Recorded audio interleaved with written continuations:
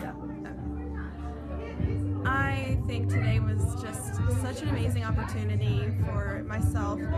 I'm a young professional who's, who's I've been in the business of travel for just over a year, but today just solidified my business plan and it helped me to put to get all of these ideas and things to put into place that will make my business grow so much and I'm so excited for that to happen because I feel like up until today I've just been kind of stagnant. And my business has just floated along but I feel like it's going to soar now because of everything I learned today about affiliates and joint ventures with all these other wonderful women. And and Desiree is just so inspiring and empowering. And I look forward to uh, working with her in the future and working with all these other wonderful women as well.